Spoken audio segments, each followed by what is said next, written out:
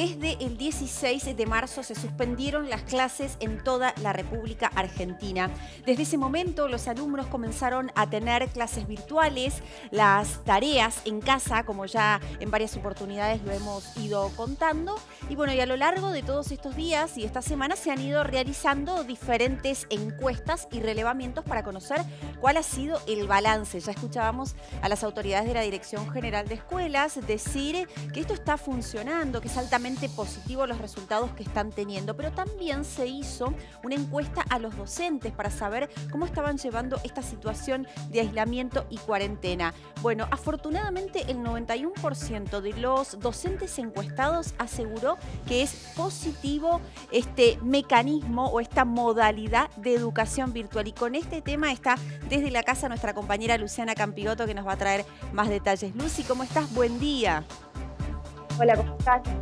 Gracias a vos y a los vecinos que están viendo de la mañana. Bueno, exactamente, más del 90% de los eh, docentes encuestados por la Dirección General de Escuelas, hablamos de 50.000 docentes, valoraron como positiva esta forma de educación no presencial que se ha llevado adelante en la provincia, es una etapa nueva. Eh, en un momento los docentes temían un poco eh, cómo poner en marcha esta situación, poner en marcha este sistema que se tuvo que eh, justamente idear de una forma muy rápida, pero la mayoría de los docentes, como decíamos, valoró de modo positivo, hizo un balance positivo en estas primeras semanas de educación no presencial.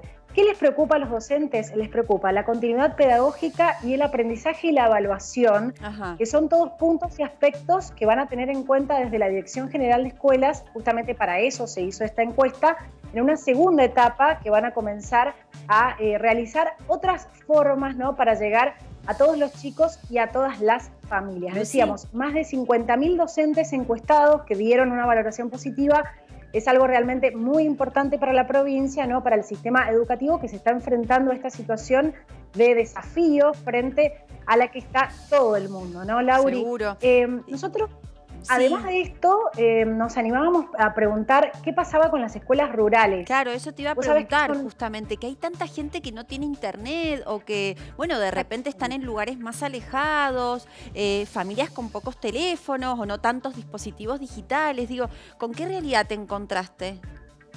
Tal cual, Lauri, todo eso es lo que vos comentás. Son más de 600 las escuelas rurales en nuestra provincia, algunas son escuelas albergues. En esos casos, en las escuelas albergues, sobre todo lo que se ha hecho es repartir cuadernillos que han sido impresos y que han sido repartidos por los directivos, en el caso de los chicos que vivían en las, en las escuelas.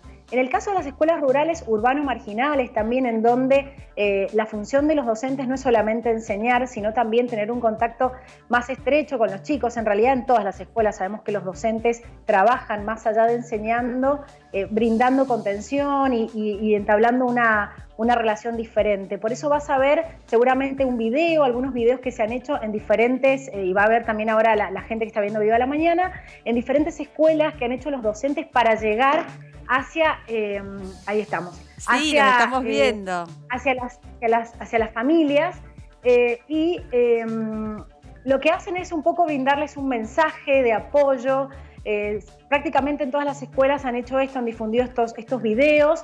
Nosotros tenemos el de dos escuelas, el de la Escuela Dolores Guevara de Guevara y de la Escuela Provincia de Mendoza. Pero si hablamos de las escuelas rurales, lo que tenemos que decir es que nos encontramos con esta situación de familias en donde tal vez hay seis niños que están eh, en edad escolar y solamente un dispositivo electrónico, un celular, no tienen computación, no tienen computadora, no tienen internet, ¿no? Instalados en un dispositivo además del celular y esto realmente eh, es una situación que complica para estas familias. Sin embargo, vas a ver por los testimonios que nosotros recogimos de una escuela, que es una escuela que está ubicada en La Valle, la Escuela eh, República de Venezuela, que tiene simplemente, eh, bueno, una, una, interacción que ha surgido a partir de ahora y que los ha emocionado muchísimo a los docentes, a los directivos, justamente también esta valoración positiva de cómo ha sido esta etapa de educación no presencial nueva, diferente, y en estos testimonios, bueno, vamos a escuchar todo esto que yo te estaba relatando. Sí, claro que sí, los vamos a escuchar, Lucy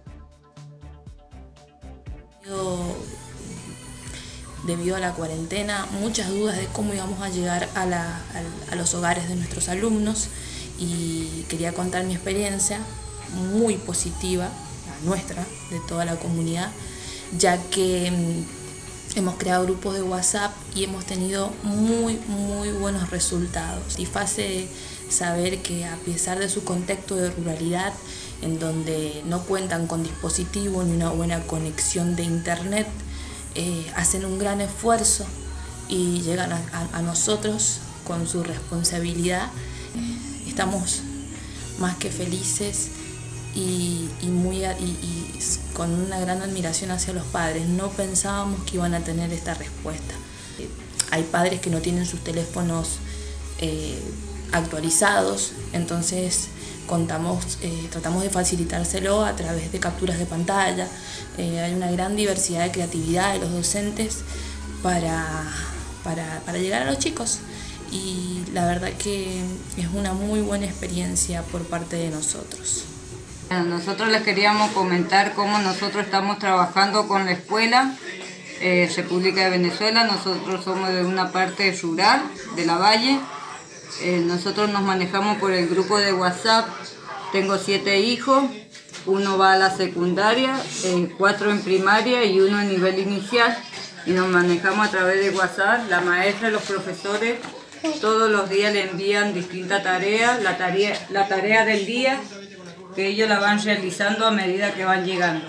Eh, como tengo un solo celular, se manejan dos o tres horas cada chico y van haciendo la tarea o eh, copian y después en la tarde empiezan a completar. Mira, Lucy, la verdad es que llama tanto a la reflexión y nos poníamos a pensar acá en el estudio. Muchas veces hay mamás que se quejan esta señora no decía que tenía siete hijos y tan solo un celular. La verdad que el esfuerzo que están haciendo es ejemplar eh, y es conmovedor, ¿no? Porque a pesar de la situación en la que estamos viviendo, que están atravesando, eh, se complementa la ayuda del docente que está tratando de hacer lo posible para que esta educación llegue a esta casa con esta familia de siete hijos y lo mismo la madre, ¿no? Eh, el esfuerzo que le está poniendo, las ganas, la actitud para que esto, bueno, se pueda llevar adelante y funcione además, que es el objetivo, que los chicos aprendan.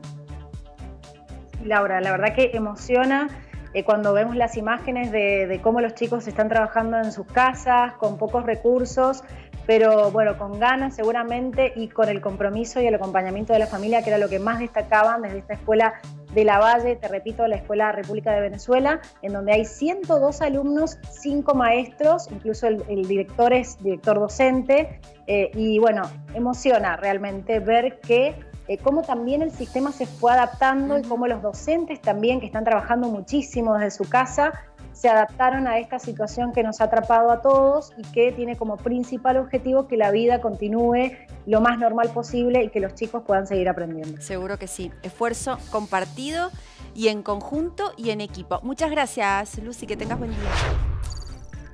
Luego.